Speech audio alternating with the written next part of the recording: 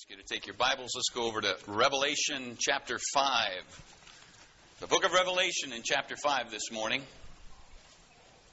Young couple moved into a new neighborhood, enjoying the newness of their home. They got up early, they're having their coffee in the morning each day, and it is just nice to call a place home. And as they're sitting there having their coffee and things are settling down, the woman is looking out her window and she notices her neighbor is putting out her laundry. And as she sees her doing that, she says to her husband, Man, that woman doesn't know how to do laundry. Look how dirty those clothes are. They look like they need some more uh, detergent or something. It's just, they're just dirty and it's just wrong, you know. And this went on for a few weeks, you know. Every time the woman came out with her laundry, she uh, she would say something about it. Man, she just somebody needs to tell her she needs to change her detergent. And uh, so subsequently, you know, it's troubled her, but she never really said anything, but one morning she got up and she looked out and she says, Well, there you go. Somebody, somebody helped her. Somebody showed her what was going on. She said to her husband, What do you suppose happened? He said, Well, this morning I got up before you did and I cleaned our windows. And uh, so now, yes. You know, it's funny the windows we look through. We look at our world and we don't remember as dirty as it is out there, God's got a handle on everything. And for you and for me, we can see with clear eyes when we read the whole story. Because things are happening in our day, are they not? That just get the heart thrilled on one hand. And on the other hand, we find ourselves sighing and crying because the world in which we've uh, come along in, it seems to be losing a sense of itself, a sense of place, and things seem to be coming undone. You have heard this past week of the various football teams, and they're sitting down or uh, not coming out during the national anthem, uh, kind of protesting across the board. And now we watch our games and wonder if, in fact, we can even do this anymore. It is something that if they're going to not cheer for our country, then I suggest people ought not cheer for their team. Just take your money and go home. It is what it is, and our world has lost a sense of what honor, dignity, and loyalty really is all about. And in our country, we have a lot to be thankful for, nevertheless, because we have been founded on uh, some very powerful and wonderful principles, have we not? It's all about the Word of God. It's plundering those great thinkers of ages past, and people have come together, and the conclusions were in the founding of our country that God is the one who reigns in the heavens, and that he, if he is honored, then God will honor the efforts of those who seek to honor him. For you, for me, we're seeing that those foundations that were laid are hugely powerful. For this onslaught that we've experienced in this country is such that uh, we would have thought it would have fallen a long time ago. But I just want to say to you, not as a prophet of doom, but as a student of Scripture, that fall it will. The Bible makes it very clear that man's ways are not God's ways. This country is in trouble. We're on a, a crash course, if you will. But I like to read the back of the book to remember what's really going on. I like to see through the glass cleanly so that I can understand what's really going on. God is in the pres- is in the process, if you will, of helping people around us get a clue that this world's in trouble. Those who are the guys who would be sitting on their uh, couches, leaning in, rooting for their team, cannot ignore what's going on. We can't ignore Florida. We can't ignore Texas. We can't ignore fires over on the West Coast. We can't ignore Yellowstone burgeoning, as it were, as, a, as what they call a super volcano. You and I are living in some t- uh, tremulous times, if you will. The nations are in distress. But God, listen, is on the throne. And that gives us great comfort. And so we give him a hand, will you? He's on the throne. He's on the throne. And he's got this thing under control. We've been looking at the book of Revelation because we need to remember what it is we're part of. And we are part of his story. And this story that he unfolds for us is set forth as at its culmination in, in the book of Revelation. We've looked at the first several chapters, chapters 1 through 4, which means, as the divine outline set forth in chapter 1 and verse 19, that we've already looked at the things which John had seen, which were in chapter 1. We've looked at the things which are, which was chapters 2 and 3, which had to do with the church age in a panoramic uh, setting forth. And in chapter 4, we entered into the throne room of God. It is good to enter into the throne room of God. Uh, the Bible says, Come boldly to the throne of grace that you might obtain mercy and grace to help in time of need. You and I have access. But here, what we have is not only access, but we also have a clear view of what's going on in God's heaven, in God's throne room. The Bible says in chapter 4 and verse 1 that John heard a voice saying, Come up hither, and immediately he was caught up into heaven. And he got there, and there was a throne that he saw, and one sat on the throne. And we saw all of the different things that were around that throne. We saw in chapter 4 that in the throne room of God, not only was there a throne sitter, and he was pictured as having certain colors connected to him, which, if you go back and chase those colors in the Old Testament, you find one color speaks of, uh, Behold a son. The other color spoke of the son of my right hand. And the third color spoke of praise. so you don't get any more description than colors of who's on that throne. But if you connect the dots, it's Jesus sitting on that throne. Uh, we see him high and lifted up in Isaiah 6, and we see him in Ezekiel on the canopy. We see him here sitting on the throne. And what we see also is we see there were people around the throne, and there were 24 elders. I won't review all of these people, but just understand the 24 elders that's us. That's the church. Each of us gets a chance to sit in the throne room of God throughout the eons of eternity. We'll come, we'll sit for a season, then we'll go on out and others will come in. But some of us, at any given time, there will be members of church of the church of the Lord Jesus Christ that will sit inside the throne room of God and bask in his glory and cry out holy with the angels. We will be able to take in that which is unthinkable. The Bible says that when we see him, we shall be like for we shall see him as he is. We're going to see him. Chapter 22, it says that we're going to see God face to face. We're going to see him. This means that what happens in Genesis, where Adam and Eve were walking with God in the cool of the day, will be ultimately restored in the future. And so we're coming to a time where we're going to be in that room with the Lord Jesus. There were living creatures, and we saw them as kind of reflectors of what was going on with that throne sitter. They had four faces, and we'll talk about them again in a minute. But we also saw that these were the ones who had six wings. And it says in chapter 4, verse 8, they said, Holy, holy, holy. And if you connect the dots through Scripture, you see these are the seraphim of Isaiah 6 uh, that were crying, Holy, holy, holy. And we see that they are also connected right here in clarity uh, with being in the throne room as being with those four beasts that Ezekiel specifically saw in the canopy uh, that actually carried the Lord along in uh, near the river or brook Chebar. And so the Bible tells us in chapter 5 that this scene begins to, continues, I should say, to unfold. In verse 1, as he's seen these, the throne sitter, the beasts, and the elders, and all the angels, and so forth, verse, five, uh, verse 1 of chapter 5 says, And I saw in the right hand of him that sat on the throne a book written within and on the back side, sealed with seven seals. Now, know this.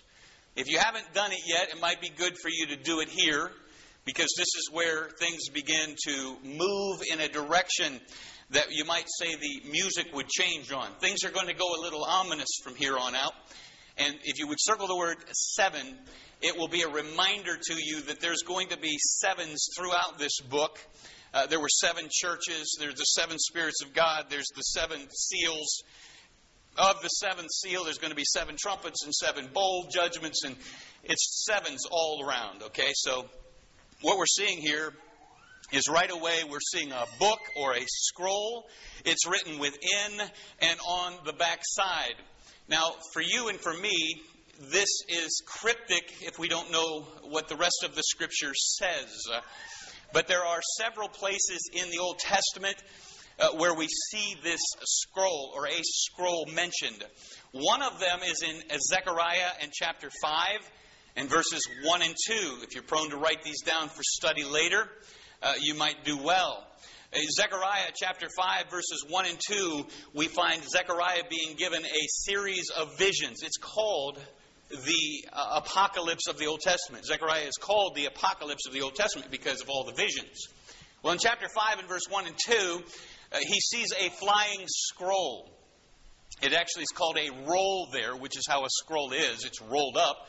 But he sees a flying scroll or a flying roll. And in that particular scene, what he saw was he saw two things that are pertinent to our discussion here. It says in this verse, in chapter 5 here in Revelation, that it was written within and on the backside. This is something that Zechariah saw as well. And in his uh, vision, he saw writings on the front and on the back of this flying roll, and the one side had to do with stealing, and the other side had to do with swearing. And he says, and in that vision, he was telling, he was being told that there was an ominous sense of judgment written on that roll. So there's a connectivity to this being written on the front and on the back. And when it says uh, stealing, what was being stolen in their day is not unlike what's being stolen in our day. You see, in their day, Israel was in deep trouble. And as a result of their deep trouble, uh, it, it, it, had become something of a, what, what we might call the, the, the rule of the day was to spread lies, okay, and, and to give people the wrong uh, information. And there was a stealing going on of truth. And that's what's happening in our day. Everything from global warming to evolution to, uh, to the existence of God. Uh, everything to the distinctions of males and females. Everything from the confines, from the barriers of right and wrong. It's been stolen. And on one side, this, this scroll had written about stealing. And then on the other side was swearing. Interesting word in the Old Testament, swearing. The word means sevens. It means to seven oneself. Think about that. To seven oneself is to sell a lie so long that you begin to believe it. It's a perfect number, seven. To seven oneself is to take an oath to the point where you actually fall in. The world in which we live really does believe a lot of the nonsense that's been foisted on them, whether it be on the news media of our day or whether it come from the halls of learning in our day.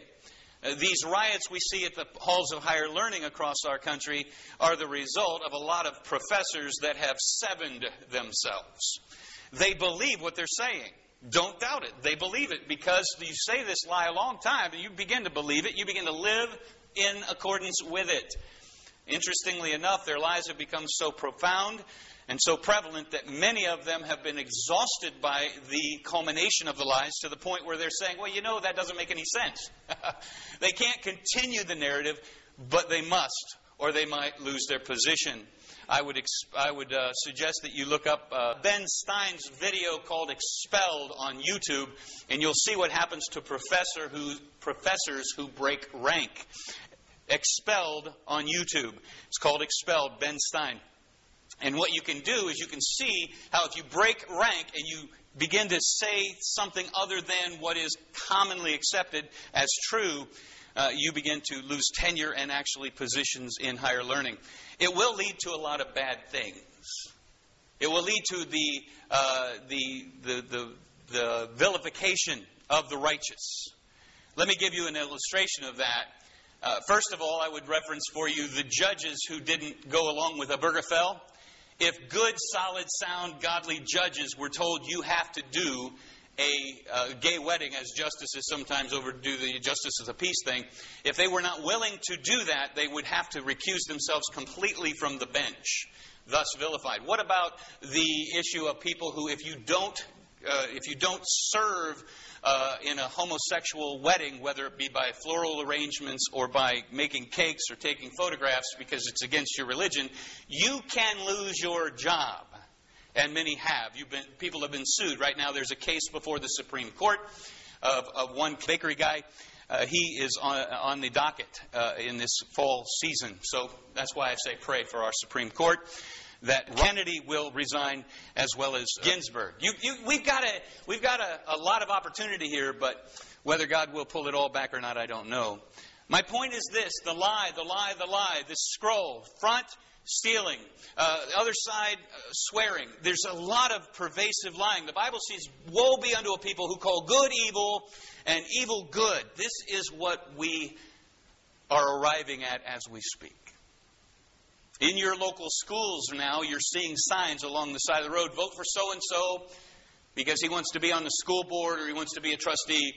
It means more than it ever has. The church needs to rise up, and it did in Alabama, where Judge Moore was uh, elected. Uh, people of good faith wo- uh, woke up, went to the polls, and in spite of all of the money thrown at it, $30 million were thrown at this by the uh, Republican establishment. And, he, and, and Judge Moore won, nevertheless, by uh, 10 points. Judge Moore was one of the people who lost his job for saying the right thing and not pulling the Ten Commandments down. This is the world we're living in. Now, I'm putting contemporary things with future things because you need to realize they're not that far removed from each other. okay, this is where we are. If America falls, there's no place to go. If there was any place better, people would be going there.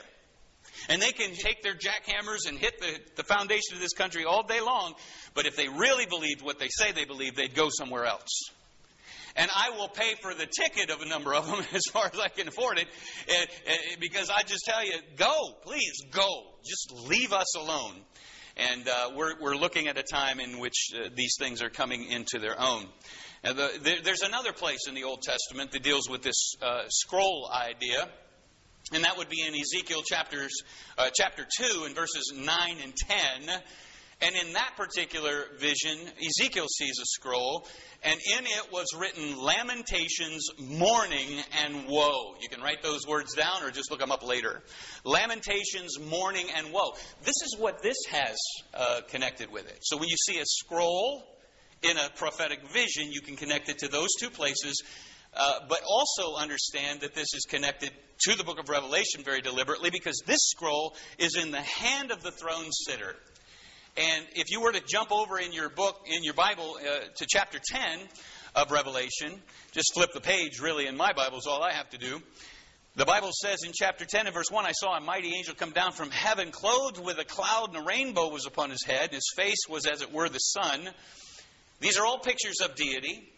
The rainbow, the crown was like, it was like a crown. He's, he's clothed with a cloud, which is what Ezekiel saw and his face shone like the sun. This was this, and he's a mighty, he's huge. And the Bible says in verse two that he had in his hand a scroll. And now it's open because the six seals are going to be popped by this point. And there he is. He's going to be standing with a scroll in his hand, and he has one foot on the sea and one foot on the earth which tells us that this is also connected to what Jeremiah shows us of a scroll when Jeremiah was told to go purchase some land before the uh, exile of the people of God uh, and the, the, dev, uh, the devastation of Ju- Jerusalem. And he was told to take this scroll, which was a title deed for some land, because he was to buy it before Jerusalem fell as a promissory example to everybody who was watching that yes, I've said it's going to fall, but I'm still going to buy land because Jesus is going to make sure we get it all back. okay? And he did at length let them come back. So it was a title deed. So you have woes, you have lamentations, you have mourning, you have people lying, you have people stealing, you have a title deed. This scroll is a profoundly important scroll. It is central to chapter 5. In, his, in the right hand of him that sat on the throne was a book written within and on the backside, sealed with seven seals. Verse 2 says, And I saw a strong angel proclaiming with a loud voice, Who is worthy to open the book and to loose the seals thereof? That's a question, isn't it? Because really, when you have something sealed, that means that nobody but those to whom it is addressed or who had the right could open or break those seals. When a king sealed uh, some kind of a document, that made it ratified. When a scroll was rolled up in the Roman times, they could they made it such that you could seal it different sections. So one seal's broken, it would unfurl to some degree, and then another seal would be broken. So there's a continuation of breaking of seals to get the body of the information inside of a scroll in the Roman days. Such is the case here. This is a sealed scroll with seven seals, but the question is posed who is worthy to open the book? Now, when it says that there was a strong angel proclaiming in verse 2, Many would connect this with Gabriel. We only really know of two angels in the Bible by name, and that would be uh, Gabriel and Michael. Michael is known as the protective angel, the angel of protection over Israel, and Gabriel is the proclaiming angel. He's the one that told Mary she was going to have a son. Holy Ghost was going to come upon her, and that which was born of her would become the Savior. You and I see this guy proclaiming, this angel proclaiming with a loud voice, and the proclamation is, Who is worthy? Now, the word proclaiming is the word kerusso. Think of a herald back in the day. If you can imagine some of the movies you've seen where somebody's come out on some kind of a, of a stand somewhere in the midst of a crowd and just, you know, maybe trumpets have gotten everybody's attention and he stands somewhere in the, alone as everybody falls silent and he cries out, uh, Who is worthy to open uh, the scroll? Who is worthy to loose the seals? All of heaven stands silent.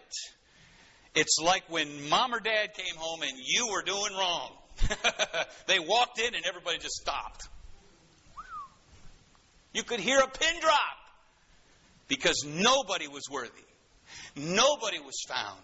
Verse 3 says, And no man in heaven, nor in earth, neither under the earth, was able to open the scroll or the book, neither to look thereon. Now, understand this is huge because uh, what we're beginning to see here is that heaven was left speechless for a moment. No one was found. There might have been a rustling, there might have been a looking to the guy to the left or to the right, but we're, what we're told is no one was found.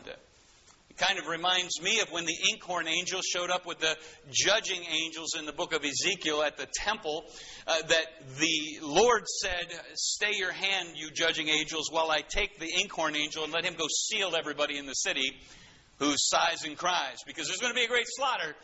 But the one who sighs and cries, they're going to be sealed. They're not going to be suffering of slaughter today. And he got, he got, the, the inkhorn angel was sent, and he was back immediately. so he went, had to go all the way through Jerusalem before they did the great slaughter. But after the inkhorn angel had sealed everyone that was to be sealed, there was indeed a great slaughter. But it happened quickly that this inkhorn angel went and came back. Now, that could either mean that there was very few and he only had to go over to the ones down the road and around the corner in that house and that was it. So, like Rahab was the only one in the room in Jericho.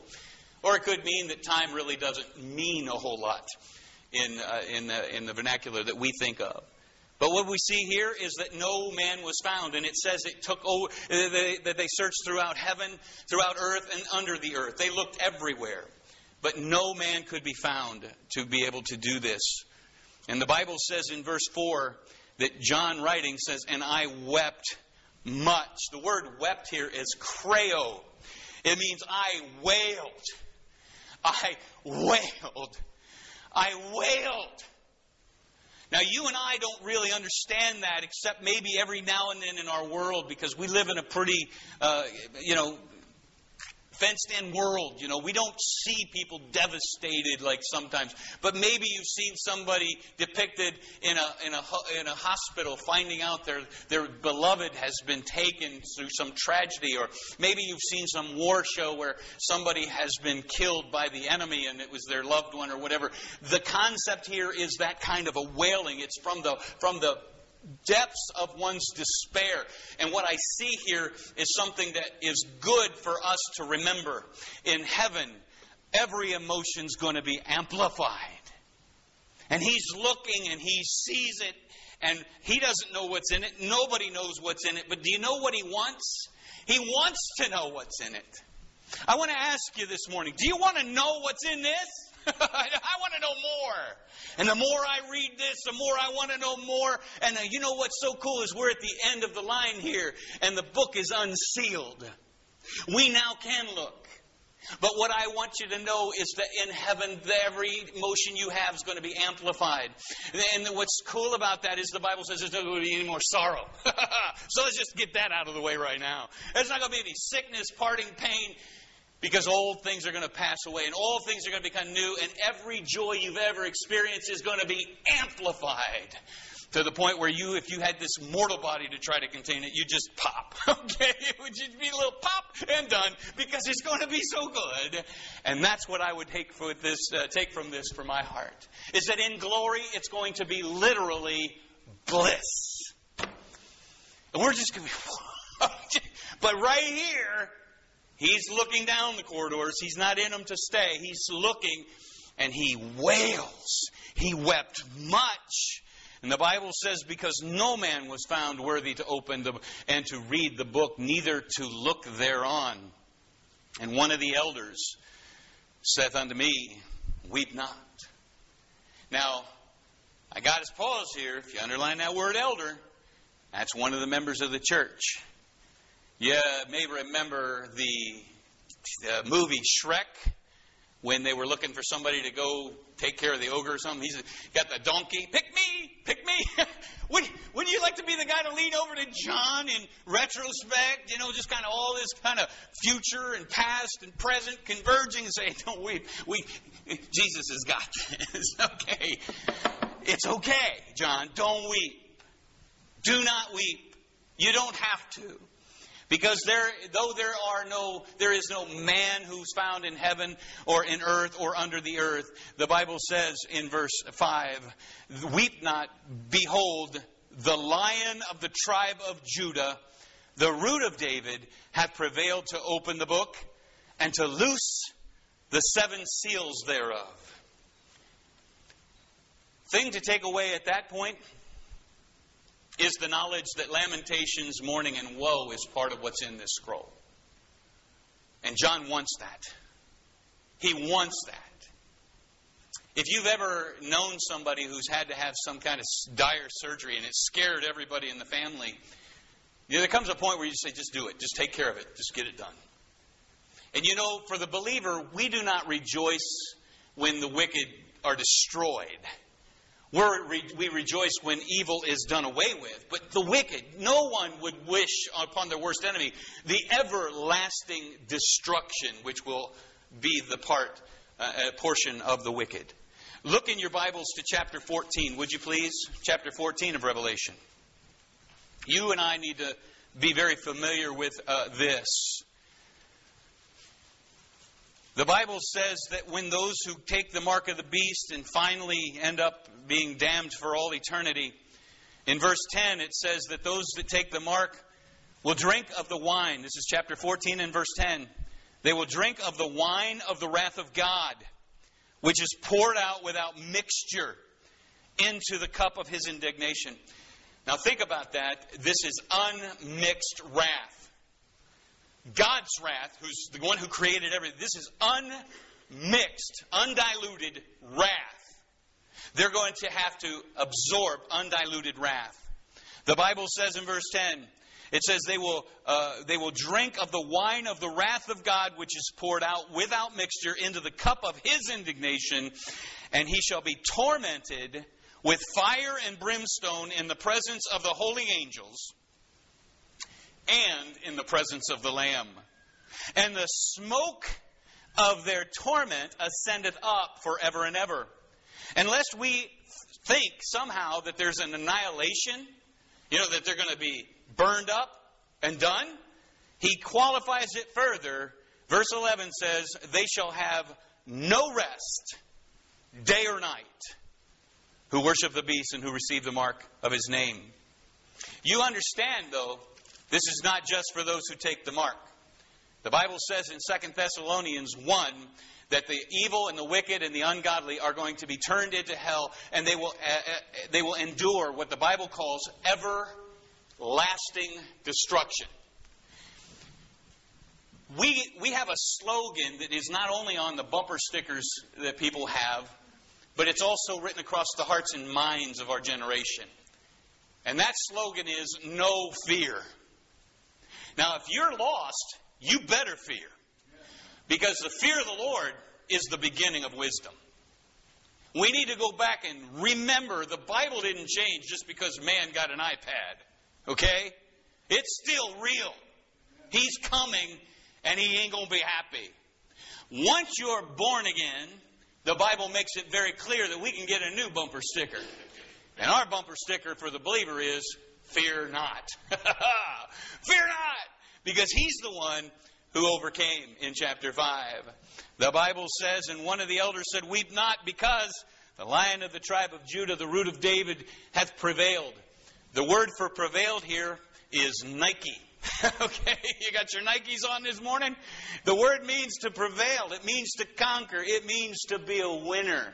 It comes from the Greek word nikao, and it's the idea of his winning, his prevalence, his conquest. He has prevailed to open the book and to loose the seals, uh, the seven seals thereof. What an amazing God we serve. He not only took care of everything, but he took care of everything uh, all across the board in spades and beyond. Do you know what Jesus did on the cross? Not only paid for your sins and mine, but the Bible says he died not for our sins only, but for the sins of the whole world. That is amazing. He didn't just die for our sins, but for the sins of the whole world. Jude talks about false teachers. And the false teachers, he says, they deny the Lord who bought them. They were paid for. It is not a limited atonement. It is sufficient. God loved the whole world so much that he gave his only begotten Son. We stand up close. We're like the elders this morning, sitting around the throne looking at the Lord Jesus. He's called the Lion of the tribe of Judah. I've only had the opportunity of hearing a lion roar one time, and I think the Lord gave that to me just so I could tell you about it. We had gone to the zoo here about two or three years ago, down in Columbus. And they're always sitting there just flopping their tails, looking like you could go up and lay on them and, you know, roll around with them and have fun. Evidently, it was feeding time, but we didn't know it. They were still flopping their little tail, looking all chill, you know, looking chill, as they say today. But when we walked away, I was probably about a third of a block away. Couldn't see him anymore. That lion roared and it shook me to the core. The whole park rumbled when he roared. It blew my mind. I mean, all I saw was on the TV screen, little cat going roar. That's all I've ever seen of a lion roaring. This thing roared in, in Columbus, and it went down to the core. It rumbled my core. He's the lion. And you know, when he's ready to pull the trigger, in this great season of apostasy, of sinfulness, of days like the days of Noah, of violence, days like the days of Lot, of decadence and, and, and just degrading behaviors. When he roars, you know things are bad. Because he does not rejoice in the destruction of the wicked. God would not have any to be perished, but that all would come to repentance. God's judgment is his strange work. God loves mercy. God loves mercy. And in fact, all of the tribulation is a chronic altar call. If you go back to chapter 10 with me for a second, I'll show it to you. Revelation chapter 10. Actually, it's chapter 14. Revelation chapter 14 says in verse 7 that an angel went across the heavens saying with a loud voice, This is to the population of the earth. An angel literally pops through and says this to the population of the earth Fear God and give glory to Him, for the hour of His judgment is come, and worship Him that made heaven and earth and the sea and the fountains of water. Now, you may think that that just sounds redundant, but at this point in the tribulation, when this angel shows up, a third of the vegetation has been burned up. A third of the fresh water has been destroyed. A third of the ocean and the, and the fish of the ocean have been destroyed. Actually, it's more like, a, it's more, more than that because it's a third and a third, and it's, it's this huge amount, and people are thirsty. And the sun is burning people. Because of the heat of the sun, because the, evidently somehow the atmosphere is going to be a little bit more hostile than even it can be in some of the harshest parts of the world today. And so when this angel shows up, it's an altar call. And God even modifies his own modus operandi in that he allows an angel to show up and cry out to the people. And that was right before he says, Whoever takes the mark, he says, Do it because you take the mark. This is where you're going. You don't want to do that. And if I haven't convinced you with fire from heaven and brimstone and all the stuff that you've seen, eh, you know, then, then you're going to go ahead and go be damned. But that's not my desire. God is not willing that any should perish. Do you know men in their left to themselves are insolent? They are rebellious. And it was in all of us. We know this. This is why we can't cast stones. But for the grace of God, there we would be. In shame, I hear my mocking voice cry out among the scoffers. That was me. I don't say these things from a ivory tower. I say these things because they are what are true of me and of each one of us, but that God, in His grace and mercy, had brought to our attention some things we needed to know. And I believe with all my heart He brings to every man's attention things they need to know. But if they resist, listen, if they seven themselves, if they make an oath in their hearts that I will not go to God, the Bible says God gives them up. Referred to as a reprobate mind and thereafter as dogs and brute beasts because they no longer have a conscience. The Bible says their conscience gets seared as with a hot iron. There's a callousness. But where there's breath, there's hope. You may have heard this past week that Hugh Hefner died. Now, I don't know if any pulpit's going to say this, but he's got a lot of splaining to do. He put into motion the breaking down of barriers and of dignity and decency. He started it. And God, in His mercy, let him live 91 years. Mercy because even God let that man stay alive before he had to go where he was destined to go. You think about that.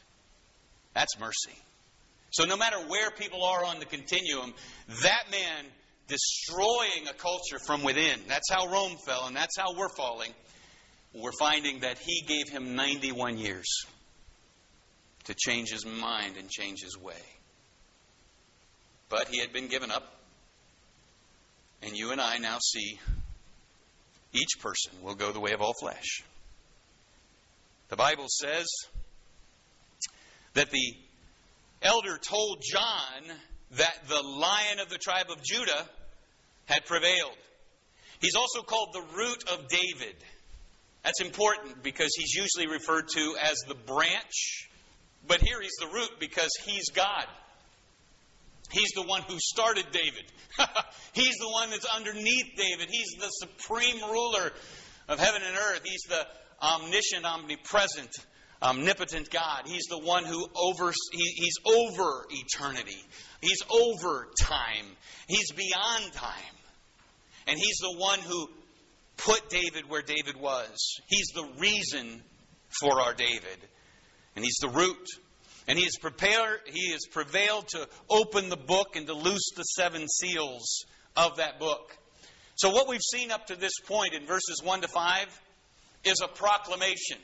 We could say proclamations because the one said, Who shall, and the other said, He shall. So you got two proclamations going. Who shall prevail to open? He shall prevail to open, and Jesus is the one who has the right and the wherewithal and the authority and the strength of heart. We have a song we sing sometimes There's not a friend like the lowly Jesus. No, not one. No, not one. But I want you to know that Him coming meek and lowly doesn't mean that He's faint of heart. he is not faint of heart. He has the wherewithal, the capacity, the right, and the intention to pull the trigger. on unfurling this, this scroll. And the Bible says in verse 6 And I beheld, and lo, in the midst of the throne, notice that says in the midst. Where is the Lamb? He's in the midst of the throne. Think about that. He's not in front of the throne, beside the throne. He's in the midst of the throne because he was granted, the Bible says, to sit in the Father's throne. Revelation 3:21 says to him that overcometh will I grant to sit with me in my throne, even as I also overcame and am set down with my Father in his throne. Jesus is in the midst of the throne. Verse 6 says, Lo, in the midst of the throne and of the four beasts and of the elders, and, and in the midst of the elders. That gives us a picture of these 24 elders who are not just sitting in front of the throne, but they're kind of around, it would seem. We get a little bit more vision of who they are, where they're sitting. But he's there, and it says stood. That's interesting, because the Bible says he was to be seated until his enemies were made his footstool in the book of Acts. The lamb standing. It says it stood a lamb as it had been slain. And that's important because we don't want to say as if, because he was. The word for slain here is the word slaughtered. It's the word slaughtered. Do you ever think of Jesus as being slaughtered? That's the concept. I was thinking about how, you know, you can take a hardened criminal and you can put him before the bar of the judge, and that judge passes a verdict of death upon that man. And for a moment, he probably, because of the way that we are wired not to ever consider such things as our own death, especially in verdicts, we always think somebody's going to come through. But as the verdict comes down that he will be executed on thus and thus a day, that that man begins to have that seep in that he was going to die. When truth about our sin comes to us, we realize we have a death sentence. The Bible says the wages of sin, sin is death. We have a death sentence. But unless the Spirit of God drives that home, that that's who we are, we might not really appreciate what's going to follow hereafter in my, in my thought. But what I see is a man, he's before bar, and he's been told that he is going to be killed, he's going to be executed for his crimes. And then along comes a man who comes from the back Let's, let's make it something a little bit more visceral. Hi, Mom. It's his mother walks in. And she says, I'll die for him. You put in who you want, but that person is beloved by the criminal. And they walked down and they said, I'll do it. And this maybe this guy's laughing under his sleeve. Man, they're never going to kill them. That's my mom. That's my dad. They've never done anything wrong. But they don't wait as he's walking out the door. They begin to hit her and kick her and slap her and take knives and cut her arm. He stopped short because this is serious business. Jesus was slaughtered for you and me. It wasn't a small deal. He was a lamb slaughtered for your sin and mine. And if you look at it, it blows the sensibilities away. But we're able to quickly look at something else the TV, the radio, the songs, real life, good food. No, he was a lamb who had been slain. And no matter how hardened the criminal would be if he saw him for who he was, he was more important and more precious than his mother, or his father, or his brother, or his best friend. Do you think that would change him? You'd think. But in the day of Laodicea, people sing about it like only you are worthy of my praise. Songs like that. We don't think. Don't get me wrong, there's nothing wrong with the songs of our day by and large. But when we've turned church into a party, we've lost something of this. important centerpiece a lamb slain. Sin serious. Death penalty pronounced. Everlasting destruction.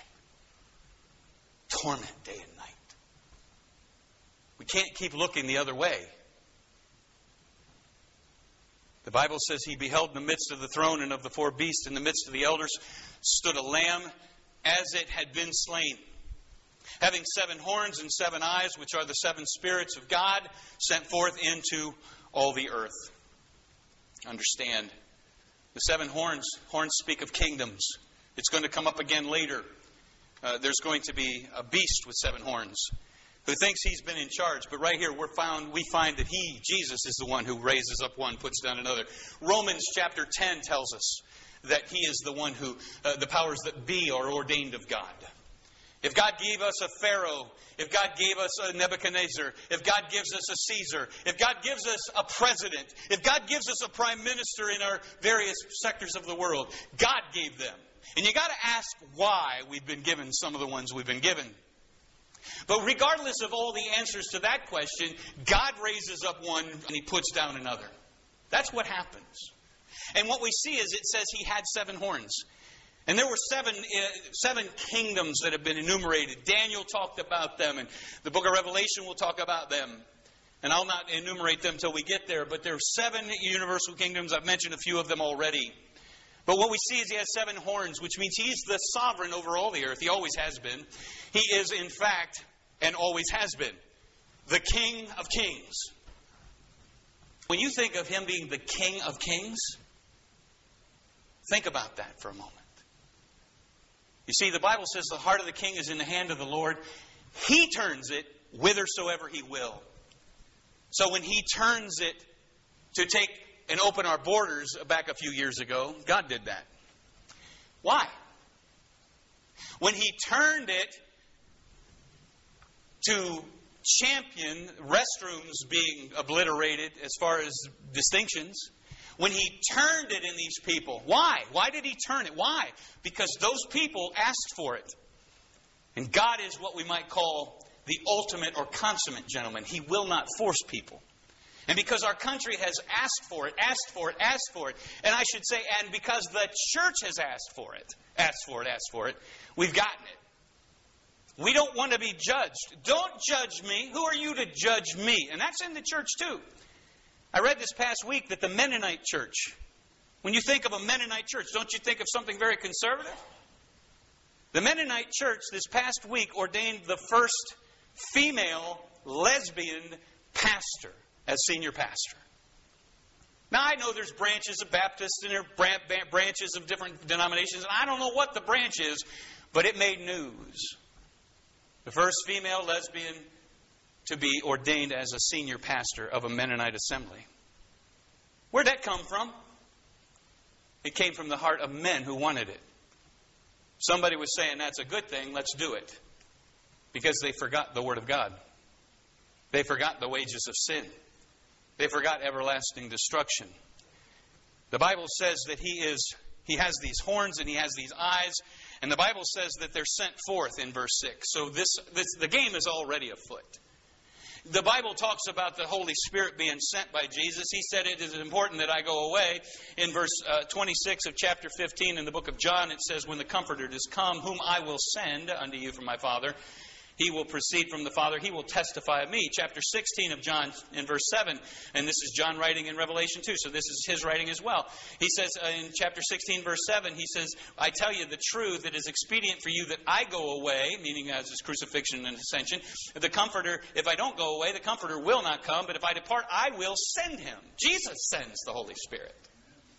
Acts chapter 2 and verse 33, on the day of Pentecost, they're wondering what's going on the Bible says that Peter stood up in the midst of them and he says, God having highly exalted Jesus and having received of the Father the promise of the Holy Spirit, Jesus sent forth, shed forth this which you now see, which were the miracles of speaking in foreign languages. Let's be clear. It wasn't gibberish, it wasn't, uh, it wasn't chaos, it wasn't batalogia like the heathen do. Jesus said, when you pray, don't pray as the heathen do. In vain repetitions, bata, bata, bata, bata, batalogia. It was languages. We hear every man in our own, not language only, but dialect.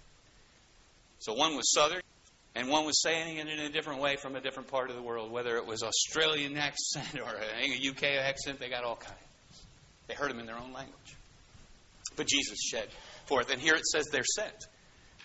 It's already happening. It's already unfolding. And in chapter 7, we're going to see many are going to get saved during the tribulation. Verse 7 says that Jesus, this lamb, this lion, he came and took the book out of the right hand of him that sat on the throne. You say, well, I thought you said it was Jesus. It is, but he's sitting with his Father in that throne. okay, so you got, you got this, this glimpse of the reality of the Trinity that you don't get quite as clearly. You see it at the baptism, right? Son was baptized, the Spirit descended, and the Father spoke. How do you how do you slice and dice that? I can't tell you. I just know I see it everywhere. Ah, you lied to God, Ananias and Sapphira. How is it that you lied to the Holy Spirit? He that has seen me, says Jesus, has seen the Father. So he's the throne sitter, but he's also there with his Father. I'm going to need to stop. I know you don't want me to, but we need to stop for time's sake. But I want you to know this He wailed because he wanted more. Our appetite for the Word of God says a lot about us, doesn't it? If you don't want to know what's in the last part of the book, it's to be questioned whether you're really familiar too much with what's in the first part of the book. Because he who will come shall come, and he will not tarry. Jesus said, When I come, I come quickly. It's going to be like tachos, it's going to be speedily. And when he was seen by John in chapter 5, he's seen as the one who's going to break some seals. And when those seals get broken, literally, all hell is going to break loose on this earth. Would you bow with me for a moment?